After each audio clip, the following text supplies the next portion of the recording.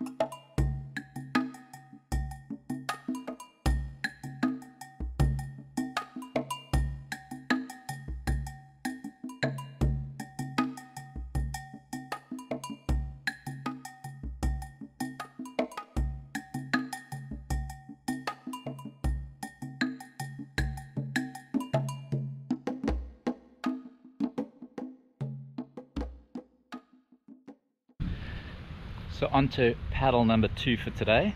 Uh, looking forward to getting in some even more wind. Uh, looks like it's picking up slightly. Um, I think we've got sort of between 15 and 20 knots and yeah, amped. Let's get on the water.